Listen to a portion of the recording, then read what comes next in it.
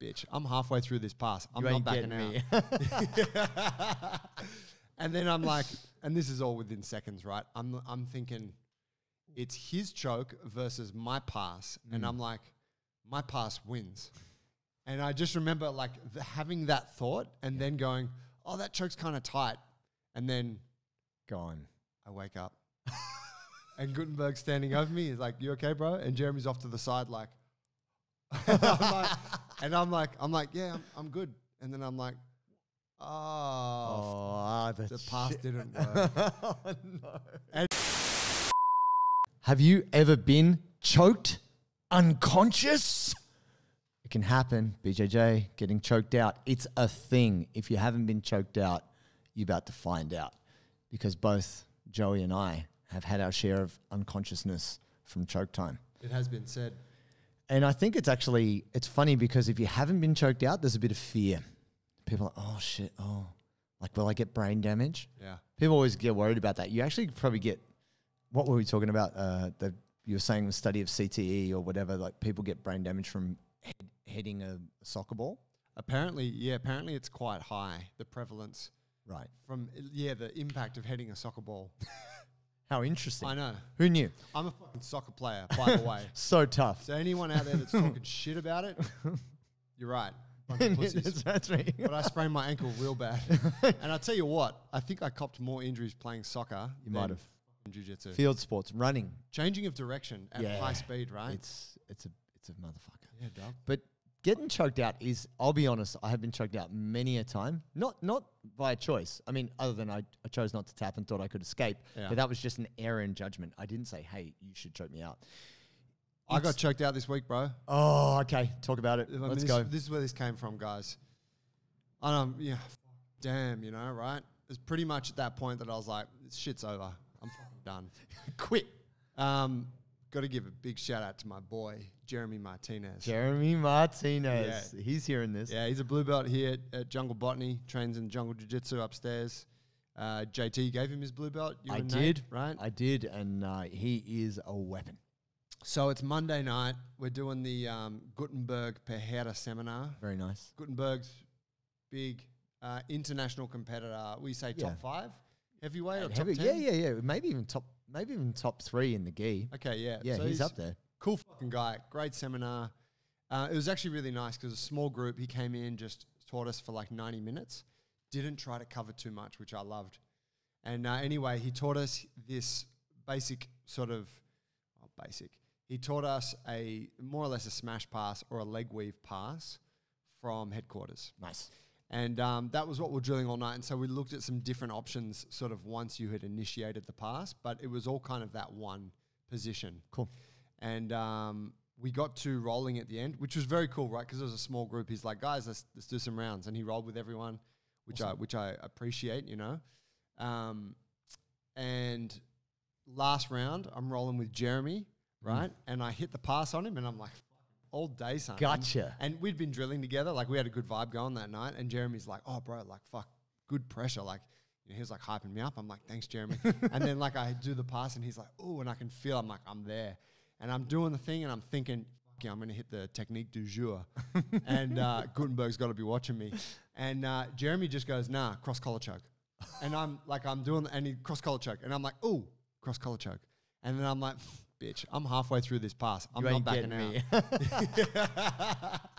and then I'm like, and this is all within seconds, right? I'm I'm thinking it's his choke versus my pass, and Mm. I'm like, my pass wins.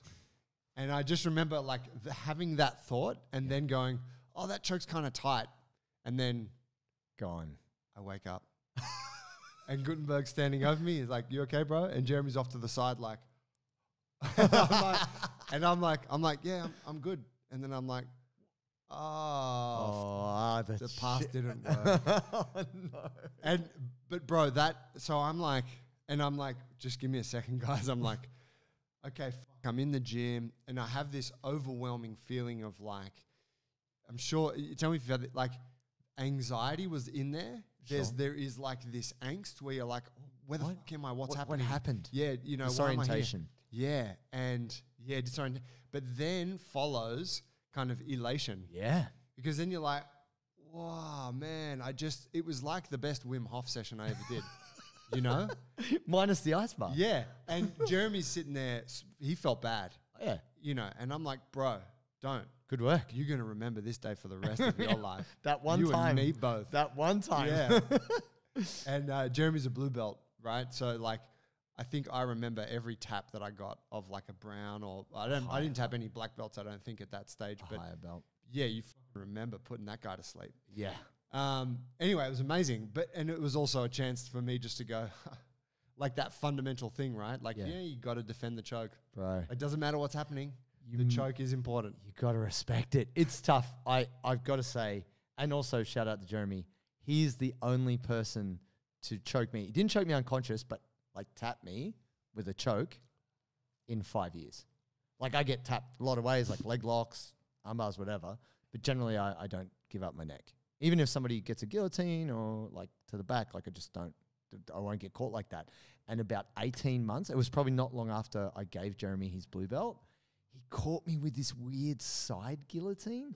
Like it was not, I didn't feel direct pressure on my uh, trachea, like my throat, but the side pressure was on. You're like, he's doing it And wrong. I'm like, I was like, nah, I'm I'm good. Similar, like I'm passing, I'll be fine. And I was like passed, but he ha- had the position, and I don't know if I don't know what he did behind me to lock it up. But then he just came on. I was like, oh, oh, god, ah, god damn it. And that's the thing, like he's a handy guy, and you can't underestimate the belt doesn't reflect the time put in because I think Jeremy's trained for like five or six years. Like he's he's a tough guy and very smart. So here's the thing about getting choked out. You don't think it's going to happen. It's a denial thing. Like it's rare that you're getting choked and you're like, I'm getting choked. Because if you thought that was the case, you're like, oh, I'll just tap. yeah. But being choked unconscious, you're like, I can get out of this. Yeah, I can get out of this. out. Vision, like, I don't know if you had this before. I don't know. Like, I had a few experiences where I've been choked unconscious, eyes wide open, and just just couldn't function. Yeah. First time I ever got Von Flue choked. Oh, yeah? Yeah, from side control. Like I was like, I had the guillotine and much bigger, stronger black belt world champion, um, uh, uh, Liao Lau from um, Alliance, big big guy, uh, absolute world champion, beat Buchecha back in the day, like monster. He just knew he had the shoulder pressure, and I was trying to guillotine him. It was, wasn't working, and he just put the pressure on me, and I didn't know that this was a thing. I was a blue belt, and then I just started to go limp, and I was like, my eyes were open, and I was just, But you still had vision? uh, yeah, I s- could You still remember? kind of see, but I was at like, Wow. I was gone, and then I was just like, eh, kind of dribble a bit, and then he was like, "Amen, hey, hey," and I was just like, "Whoa." Hey, gringo. And then yeah, my arms like pins and needles, and I was like, and he was like, "Dude, you went out." And I was like, "No, I didn't. No, my eyes are open, bro. I'm come on, keep rolling, keep rolling." like a little bit of confusion, but trying to cover up. Uh, the other experience I've had is where your vision kind of not tunnel vision, but it shrinks. Right. It's like the lights going out, like the darkness comes in, and you. It's like zooming in on uh, binoculars. Like it just gets narrower, and then, and then you don't know what happened. So the the first time I got really publicly choked unconscious was actually at AET. There was a um, AET? AET is Australian elite team run by Ninos Damos, uh, huge club, one of the best clubs in uh, Australia. And I went and did their like white belt challenge, and I had done a comp the day before, and I think I got silver that day. At JG's Hangar. a purple belt at this stage. No, no, no, no. I was just the, the, guys up. the frothy white belt, you know, and they're really good at triangles at uh, at this gym. Anyway, in the final, I forget the gentleman's name. Super staunch, strong unit. He decided he wasn't going to triangle me. He was going to cross choke me standing up, and I didn't respect that. Disrespect. I was like, dude, you're not going to cross choke me standing up, and it was getting tighter, and I was like, I was, I was like trying to like break the grips, but I, I was not respecting the choke at all. And then I hit this point, probably where you're like, oh, hang on, that's that's on. Like I need to get the fuck out of here. But by that time, it was kind of. Lights were fading. And then the next minute, I was walking around a shopping mall. In my head, I was in Chadstone, big shopping mall here in uh, in Australia, and I was walking around with my partner at the time. We were shopping, and then the next minute, I'm like, "Why am I lying on my back at the mall?" And everybody was standing around me, and they picked my legs up, and you, you may have seen this in videos where someone gets choked unconscious and they lift your legs to increase the blood flow to the brain and and jog the legs, and everyone's standing quite close because they were concerned because apparently I was out for a little while, and then I ripped a mad fart, just like, and everyone went, "Whoa, hey!" He's back. I was very relaxed, He's back in the room. and I was like, "Oh, what, what, what happened?" And then you got choked out, bro, and I was like, I just didn't understand what was going on for for about ten seconds, and I was like, "Oh, hey, that's okay, you know." Like I was like, Yeah, the was like- elation came. the elation. I was like, that's just the game, isn't it? Like I was just like, yeah, I don't. And people were like, aren't you embarrassed? Like you got choked out standing up in front of everyone. I was like, jujitsu, am I right? I didn't shit myself. Yeah, We're good. Almost. But so that's the thing. I think if you've never been choked out, there's a lot of fear, and it's not.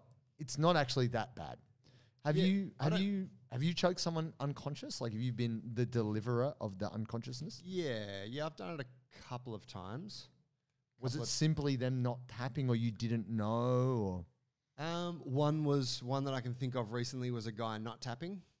Um, were you kind of checking on him, like, dude, this is on, like, what are you doing? Nah, because I was kind of just on the end of the choke, Right. and he was a big, big guy, and I was like, kind, I kind of had like a, it was kind of like a bow and arrow, but I was falling off it, Yeah. and I'm like just thumb and like index finger, Just barely holding yeah, on. and he was he was like posturing up, but on his knees, Ah. and as I was like hanging off the side of him, and um, and then and he's like, and then he's up, and then he just like a big giant, he just face planted, and then I fell down, and I was like, I think that's it, and then I let go, and then like half a second, he's like, What's going on? We're good, and I was like, No, bro, I think you went out, and he's like, I probably did. but the other one was I'm trying to think. The other one I can that I can remember was was in competition, and I didn't know. I had an Ezekiel on a guy, Yeah. and I didn't realize he was trying to tap. I think I told so. He was trying to tap with his foot, Right. But I thought because his hands were both inside trying to defend the choke. Yeah. This is back at Bluebells a long time ago, and um, I thought him ta- his foot on the ground was him trying to Escape. trying to bridge. Yeah. So I like punched it real hard. Yeah. And then um, and then he was out for a little bit. That's how The referee goes. was like, bro, he was like, when the guy, the Brazilian guy's like, when the guy taps, you have to let go. and I'm like, I didn't know he was tapping, mean- but I was like, don't make me out to be the fucking bad guy. Shit. Because you are the bad guy, Joe. People just don't know. Behind the charming exterior is the Australian psycho. Well, uh, maybe. But so I have been I'm thinking back right after this. I, I, well, we'll, we'll go into that momentarily. I was going to say we should talk about what happens when you get like the feelings and like right Sure. because I I'd be lying if I said that I didn't walk away from that being like I just got choked out by a blue belt. Like I, a part of me was like, Yeah. what am I? Like I had an Yeah. existential mini existential crisis. Yeah, it can happen. And I think that that's like it's always going to happen, but you're like, damn, I thought those days were behind me. oh, there's so many ahead of us. right? It's the beauty. It's the beauty of the game. It's also like a reminder to you know Humble. fucking respect the fundamentals of this thing, man. Like it doesn't matter if if the thing comes like if your neck is getting attacked. Wu. Tang. yeah, Wu Tang said you best protect your neck. but I had um I've been choked out four times. You can count on one hand. Four times, yeah. I need like five more hands. Like I, That been, many? Yeah, bro. I just fight it. I'm like, no, I can get it. I just, it's, it's not an intelligent thing. It's just heat of the moment. I can get out. I know this isn't gonna work. I'm gonna. I, uh, Uh, yeah, right. Yep. And I mean, you never tapped, right? If that- yeah, you no, know, no, like, that's no, the no, th- no. But that's, the true. thing, I did never tap. So like that's it- a I- fucking run on the board for JT. No, no, it's never a run. I look, you know, they say that for every second you can't remember, you lose a million brain cells. I lost minutes. I don't know how many brain cells I I got do left. Sudokus though, so we're good. Rebuild that shit at twice. Yeah, I just had just like coconut oil and fish oil. I'm good to go. No, it's it's challenging, man, because like I guess, like I said, of recently, even though I'm training less, I have been submitted through various means, but not getting choked. Like if you get my back, it's pretty hard to get me. I've worked on that. Same thing. Um, in the gi, it doesn't matter. I'm not. I've become better at defending my neck. Mm, It doesn't mean I'm not getting submitted, just not via choke. yeah. But w- that whole existential crisis of being choked out by a lower belt, I have had that. And um, I talked about it before, but it was a white, a four stripe white belt, tough guy. I didn't respect him because also he's an arrogant prick. But it's true. I was same deal. I was passing and he kind of had me in butterfly and I'm like, I'm getting over this. But he put on the cross collar choke, but it was like one hand in and then one hand over, which is strong. Yeah. He's a strong guy. And yeah, but I was like, no, no, no. Like same same process. My pass will beat this choke. And just as I'm passing, like I'm putting everything just on red. Yeah, just face plant. and like so much shame thrown on me. I, I actually didn't feel embarrassed about it because I'm like, no, the guy's really good. But everyone's like, bro, you're a brown belt. You just got choked out by what? You fell off, bro. Like people weren't checking on my well-being. actually, or was that your internal no, dialogue? no, no, no. I didn't have that internal People dialogue. said that. Yeah, I had someone say, "Are you okay?" I was like, it, it didn't sound like, "Oh man, how are you?" Like, are, Are you- are you pulling okay, up? bro? No, it's like, "Are you okay?" Like, you just got checked out by a white belt. Like, what's going on? I was like, hmm. I, I don't know. Just I got caught, and they just I like guess I'll give the belt back. they just they just walked off on me. So this is before I was a black belt, but I I think the lesson I was like, yeah, anyone can get caught, and if someone's tough, you have to respect them. Like you have you can't it can't be as simple as oh they're a white belt, I'm a brown belt, or I'm a black belt, they're a belt, whatever. Anyone has the ability to catch somebody, and the choke must be respected. yeah. It's it's the one thing that you can't. It's like a law of physics. Yeah, If the like- choke's on, the choke's on. yeah, and and and you can't. It doesn't matter how strong you are. It's not like some people who can eat damage, like a toe hold or an, an arm bar, where they let you tear the ligaments and they pull their arm out. Yeah. If you don't tap at the right time, then unconsciousness will come for you. So there's two things. Um, How many times do you think you've been chucked out then? Like if you twen- had to twen- take- 25 times at least. wow. At least. Yeah. that I'll- explains some shit. No, it doesn't. I had a lot of head trauma as a young child. That explains more. like I had a lot of head injuries. The only bone I've broken in my whole body is my skull. So yeah, there it is. Oh, one bone in my foot. But basically, who knows how intelligent I could have been, Joe. but let's not dwell on that. Yeah. Let's not dwell on that. Let's think about this, guys. If you haven't been choked out, I would say don't fear it. But also, if you're training gi or no gi, and someone is choking you, you you've got to you recognize that this is as big a threat as it gets to you becoming unconscious. Now, for the best part in jiu-jitsu, we're pretty um, sympathetic. But I don't know if any of you have seen those savage judo videos where you're watching the video and you can see the person's unconscious and the referee's just standing there. And the person on top is just cranking, cranking, cranking for like 30 seconds. You're like, they're out. They're limp. He's already dead. Like, stop. And then the referee does nothing. The, the, the, Because the ref doesn't know what's happening. well, no, well, But they're sort like, "I of, but think they're th- still yeah, but then they just don't care. They just stand there. They don't even lift the legs or like, "Are you okay?"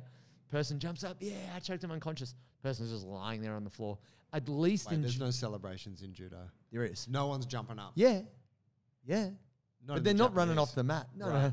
no, no, it's, no. People can s- still celebrate a win for sure. They celebrate if they throw someone. I thought it was. I thought like you like maybe a very minor one, but it's No, no, no. But in no, like you- in no, like you high level see guys judo. It's like- a it's a no no. No, no, no, no. It's you definitely see it. You're seeing it a lot more, and maybe that is like a a, a Western influence. Yeah, But you're seeing guys being like, yeah, like it's a big win or whatever. But what I wanted to say is, getting choked out is not uncommon. If you haven't seen it, don't be scared. But there can be a little bit of a guilt element if you do choke someone out, right? Where you're like, oh, Yeah, yeah. you know, like Did I did I go too hard? Did I hold on for too long? I Did you, Jeremy? I mean, I think you did. you're watching this, you're listening to this. No, Jeremy, it's respect. It's perfect. It Do the exact same thing to me next time. no, it will never happen Well, it again. won't be next time. That's it. Let's So- hope. Let's hope we're not back here on episode 300. Like, so Jay Jer- Martinez caught me Again. again, guys. I think the thing is too, it is a really good learning experience. Um, I mean, look, if you've been, if you've had a real wild getting choked story, call in and let us know. We'd love to hear it. I'll tell you a good one. Please. I'll tell you a good one. This was this. I got two. First was my uh, my sister. I'm at I'm at home. I'm a. I, I think I think I'm a blue belt. Right. I love how this starts. We're in the kitchen, and uh, I'm like, Phoebe, you know, show me some jujitsu. Like, where's it at? You know, I like try and teach her some shit when we hang out. She's my older sister, and um, my we're in the kitchen. My mum's there. My sister. We're sit. We're at a table sister on this side, mum's on that side. So we get up and like Phoebe puts her long, like skinny little bony arms around my neck. And I'm like, okay, cool, yep. So hand inside the elbow. Nice. Now, yep, just line that elbow up like I'm just finessing it.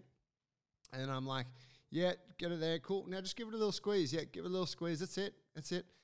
I'll, I'll tap when, it, uh, and then I wake up and I'm looking, my sister's head is looking down at me and her head's upside down and she's kind of giggling nervously in a bit of shock. And I'm like, whoa, whoa. And I look around and I'm lying on the floor Wow. and my head's in her lap. She's Oh, like wow, cradling my yeah. head. And I kind of look over to the table and my mum is crying because all all my mum has seen is that my sister's applying this choke under my tuition. Yep. And then my eyes kind of flicker back Yeah. and then I pass out and go You're limp. gone. And my sister is like, oh shit, lowers me into her lap and they don't know what the fuck's going on. Mum thought she'd just watched her baby boy get killed. You're dead. Yeah. And I was like, and she's like, did I just choke you out? And I'm like, ah, shit. Yes. Ah. Dude, yeah, man. I think, man, it's sometimes so. Here's another thing that can happen if you choke somebody unconscious or if you have been choked unconscious is twitching. You see, like you see it. You might have seen it in a tournament even. If someone gets choked really hard, sometimes they can just go stiff. You see it sometimes in the UFC if someone gets knocked out, they just kind of al- almost like a rigor mortis, like, which is kind of that's frightening. But when someone starts twitching, it's that's very off-putting. yeah, little convulsions. Yeah, I got slapped in the face. it's probably karma. I um, I choked a guy. I had a similar bow and arrow choke. I was at purple belt in training, comp training. Guy was not tapping. Probably similar to you. Like I was losing my grip. Like I was really like, fuck, this guy should tap. I had his leg. I'm like, I'm fucking styling on this cat. And I was like, I put my hips in, and he wasn't tapping. And then I didn't. It's not like I felt him relax. Next thing I know, an arm flies back and just fucking like whaps me in the face, and I let go. And he, bro, he's he, he was having it looked like a fit, Oh wow. like legs twitch and and and uh. You're like mother wants And to then, go again. Well, no, like, you want some? Down elbow, just start socket G kicking. that ass. Right. Is that a shirt now? G and P that ass. Quote him. Um, no, Lockie looked over. This is at the old gym, and Lockie's like, "What'd you do?" And I'm like, uh, uh, "We're just rolling." Like it was just like you know, this is at um, South Yarra when we were in the small gym, and uh, and Lockie's like, "All right," but uh, he he just slapped me in the face. So I actually had a full like backhand. So, and I was like, "Oh, kind of feeling sorry for myself while dude is convulsing." And then Lockie's like, "Bro, lift his legs, like help him out." And I was like, "Control his legs." He was like flailing. But th- that's the thing. I, I think we, we had talked about this before about um, previously about if someone gets knocked out and they go limp, the fight's over. Maybe we talked about this, uh, you know, not on the podcast, but we're We'll saying, say, yeah, when people, well, I think we are saying it in the last one with James, where it's like when someone goes limp, everyone like everyone wants to stop. yeah, oh, it's shit, like it's done. yeah, you're not you, you're not you're not beating a dead horse, so to speak. And the the thing is, uh, it can be off-putting, and a lot of us in our primal brains like shit. That's death.